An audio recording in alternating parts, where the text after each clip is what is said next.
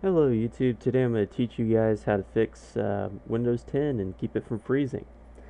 Now if you have a computer with a graphics card, this is the video for you. Um, if you have your computer's freezing and you don't know why and, and you don't have a graphics card, then or maybe a high-end graphics chipset, then this video isn't for you. Alright, so I think I found the problem. Basically we're going to go into control panel we're to go under uh, system.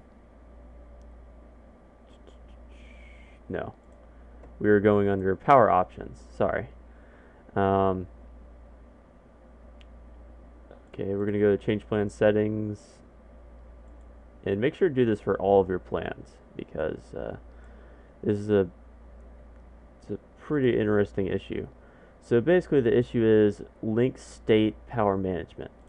What link state power, power management does is it moderates your power usage so you don't end up, uh, you know, burning a lot of electricity doing nothing. And this is fine. I mean, it works well, but this is really buggy right now. Um, uh, just during the development of Windows 10, I, I guess in the later updates they made some changes to it and it broke. So, um, right out of the box, Windows 10 will put it on um, maximum power savings, and that's, I mean, if you have a lower end computer and you're just web browsing and stuff, it's fine. It, it doesn't do anything.